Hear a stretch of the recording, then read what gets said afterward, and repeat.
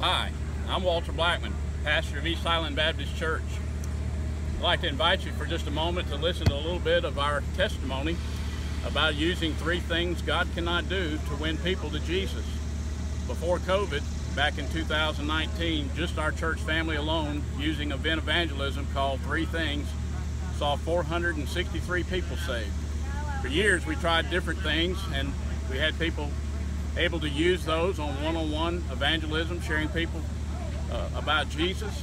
But this turned into a blessing because we were able to go to various events and be able to share three things, which is an opening to a gospel presentation.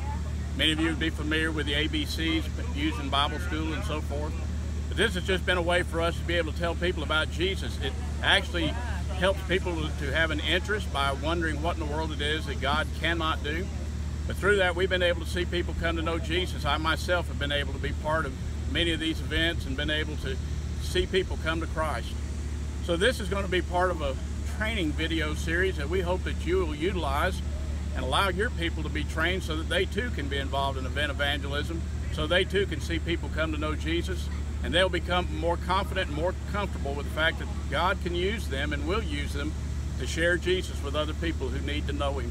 So we hope that this will be a, an encouragement to you and an opportunity for you to be trained to share Jesus through three things God cannot do. Thank you.